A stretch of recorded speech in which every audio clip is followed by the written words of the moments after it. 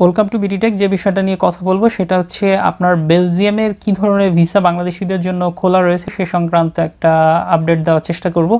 এখন বিষয় হচ্ছে এই হচ্ছে নর্মালি বাংলাদেশিদের জন্য বেলজিয়ামের ওয়ার্ক পারমিট, তারপরে যেটা রয়েছে হচ্ছে আপনার ভিজিট ভিসা, প্লাস হচ্ছে স্টুডেন্ট ভিসা, আদার্স আরও অন্যান্য ভিসার ক্যাটাগরি রয়েছে, কিন্তু বাংলাদেশিদের জন্য ওয়ার্ক পারমিট ওপেন আছে কিনা সে সংক্রান্ত আপনাদের একটা আলোচনা করব। কেননা হচ্ছে আমি অলরেডি অনলাইন সাইডে কিছু বিজ্ঞাপন দেখলাম যেখানে তারা বেলজিয়ামের ওয়ার্ক পারমিট দিচ্ছে।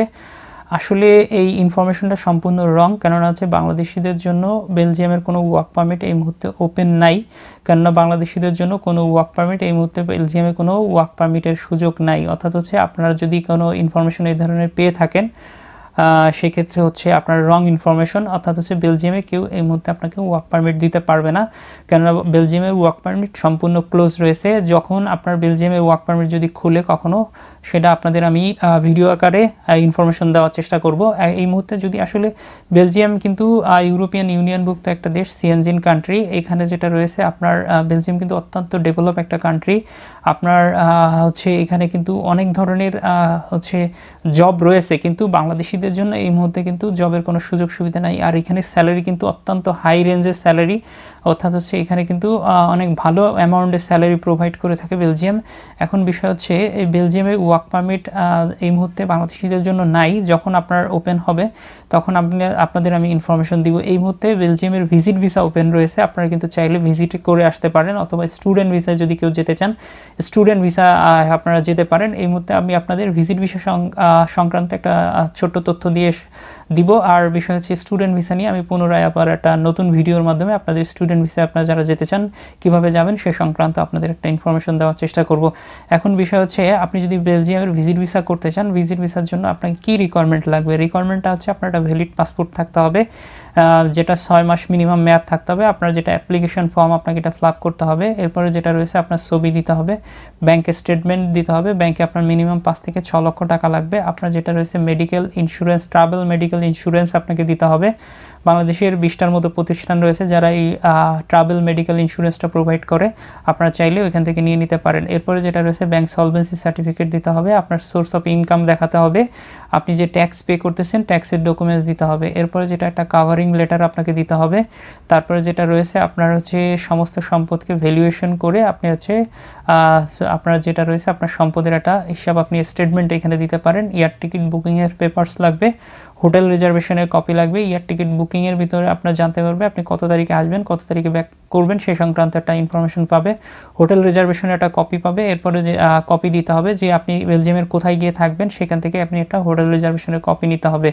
এরপরে যেটা রয়েছে, আপনি যদি আজ এ বিজনেসম্যান হন, সেক্ষেত্রে যদি আপনার কেউ ইনভাইটেশন দেয়, আপনি ইনভাইটেশন যদি ইফ এনি এখানে কথা লেখা আছে, যদি আপনার ইনভাইটেশন থাকে, আপনি ইনভাইটেশন যদি থাকে, আপনি ইনভাইটেশন দিতে পারেন। এরপরে যদি আপনি বিজনেসম্যান হন, সেক্ষেত্রে আপনার কিছু পার্সোনাল ডকুমেন্টস প্রোভাইড করতে হবে। যেমন হচ্ছে আপনার ট্রেড লাইসেন্সে ইংলিশে ট্রান্সলেট করে নোটারি করে জমা দিতে হবে, আপনার ভিজিটিং কার্ড দিতে হবে।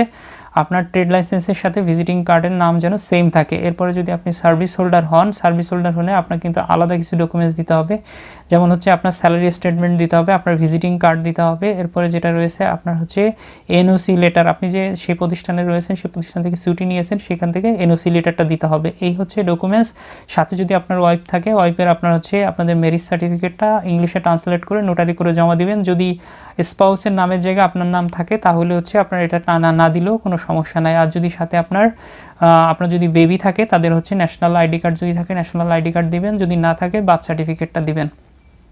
এই হচ্ছে বেলজিয়ামের ওয়াক হচ্ছে ভিজিট ভিসার রিকোয়ারমেন্ট যদি রিকোয়ারমেন্ট সব কিছু ঠিকঠাক থাকে, তাহলে অবশ্যই আপনি ভিসা পাবেন। আপনার যদি সাদা পাসপোর্ট হয়, সেক্ষেত্রে আপনি ভিসা পাবেন কিনা? আপনি সাদা পাসপোর্ট হলে ভিসা পাবেন না। ভিসা পাওয়ার চান্স আছে ফাইভ পার্সেন্ট সেই ফাইভ পার্সেন্টের ভিতর যারা পড়ে, যদি কোনো কোম্পানি আপনাকে ইনভাইটেশন কোনো সেমিনার অ্যাটেন্ড করতে চান, সেক্ষেত্রে হয়তো আপনাকে ভিসা দিতে পারে। অথবা যদি আপনি যদি অনেক টাকা পয়সার মালিক হন অথবা যদি আপনার অনেক সম্পদ থাকে, কোনো কারণে কোনো দেশ ভিজিট করা হয় নাই, আপনি যদি সেই পরিমাণে সম্পদ দেখাতে পারেন, তাহলেও আপনি ভিজিট ভিসা পেতে পারেন। আর যেটা রয়েছে, আপনি অ্যাজ এ যদি নর্মাল ভিজিটর বা ট্রাভেলার হন, সেক্ষেত্রে যেটা রয়েছে, আপনার এখানে কিন্তু ভিসা পাওয়ার চান্স জিরো আপনাকে যেটা করতে হবে, আপনি আশেপাশে কয়েকটা কান্ট্রি ভিজিট করবেন, যেমন মালয়েশিয়া, থাইল্যান্ড, সিঙ্গাপুর, তারপরে যেটা রয়েছে দুবাই বা ইউরোপের আশেপাশে কোনো কান্ট্রি আপনি ভিজিট করে আপনি চারটা পাঁচটা দেশ যখন আপনার ভিজিট হবে, তখন আপনি বেলজিয়ামের ভিজিট ভিসার জন্য অ্যাপ্লাই করলে আপনি ভিসা পেতে পারেন। যে আপনি আসলে বেলজিয়ামের ভিসাটা কোথা থেকে নেবেন, আপনাকে নিতে হবে ইন্ডিয়া, দিল্লি থেকে।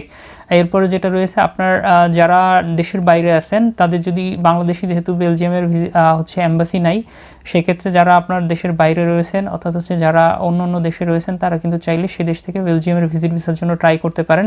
কেননা হচ্ছে যে দেশের অ্যাম্বাসিটা বাংলাদেশে নাই সেই বাংলাদেশি নাগরিক যে কোনো দেশ থেকে কিন্তু সেই দেশের ভিসা নিতে পারবে।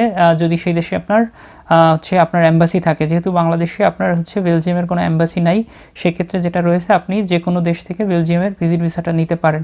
এর পরবর্তী সময় আপনার আসলে যখন ওয়ার্ক পারমিটটা ওপেন হবে ওয়ার্ক পারমিট সম্পর্কে যেহেতু যখন আমাদের কাছে ইনফরমেশন চলে আসবে, আপনাদের ওয়ার্ক পারমিট নিয়ে ইনফরমেশন দেওয়ার চেষ্টা করব। এখন মেইন বিষয় যেটা রয়েছে, আপনারা যদি কেউ আপনাদের বেলজিয়ামের ওয়ার্ক পারমিট করে দিব, আপনি দুই লক্ষ বা এক লক্ষ টাকা দেন বা দশ লক্ষ, পনেরো লক্ষ টাকা, এই ফাঁদে আপনারা কেউ পা দিবেন না। কেননা হচ্ছে পা দিলেই আপনি লসে লসে পড়বেন। কেননা এই মুহূর্তে কিন্তু বেলজিয়ামের ওয়ার্ক পারমিট ওপেন নাই।